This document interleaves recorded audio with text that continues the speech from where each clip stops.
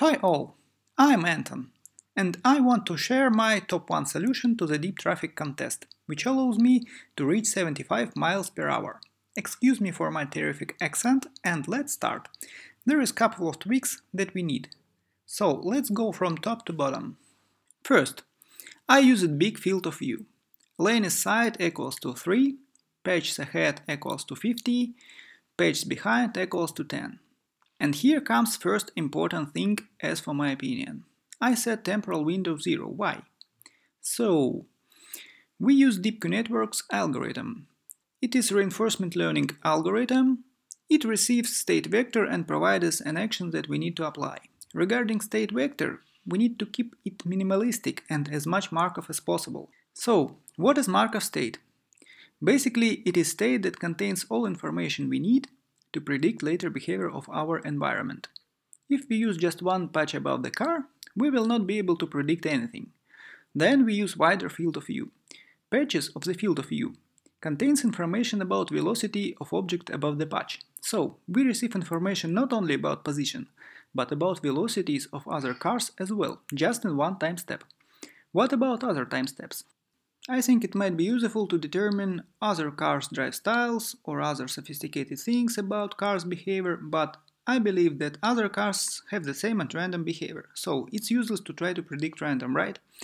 In other hand, positions and velocities are a lot of useful information.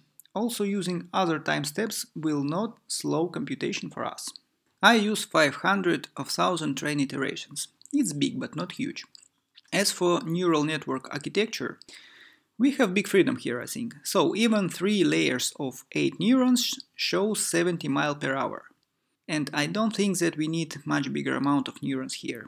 I have a number of different architectures and stayed at 4 layers, with 36, 24, 24 and 24 neurons. Second important thing I want to mention that we need hyperbolic tangent activation on last hidden layer.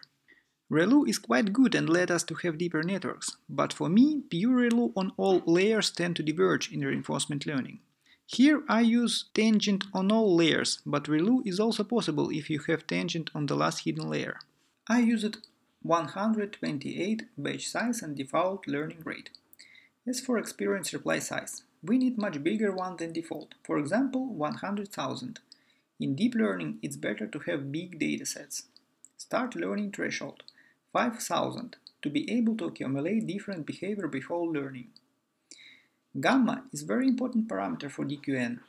It defines how sensitive our car for future situations. Gamma is between 0 and 1, and if it is 0, it will not consider its future. If it is 1, it will consider situations that may happen in the deepest future. You likely want to use 1, but with 1, the algorithm tend to diverge. So typical value is 0.9. I've used 0.98. With these parameters I get 75.04. But there is random in submission.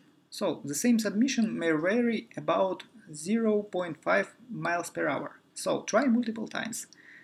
It drives pretty well, but I spotted one bad situation. When car is blocked by surrounding cars, it's sometimes good to use brake to leave such conditions change line and pass. But instead car waits. To handle this I decided to train second model and use first for pre-training. I added downloaded file and increased batch size and decreased learning rate. It allows me to get 75.28. I had even bigger values on evaluation run.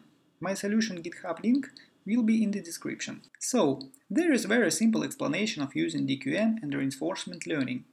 If you're interested, I advise to watch Google DeepMind David Silver marvelous course on YouTube. It is very clear and interesting. Link will be in description. Please put any questions in comments, like, subscribe, maybe share with your friends. Good luck and have fun in your education and research. Bye!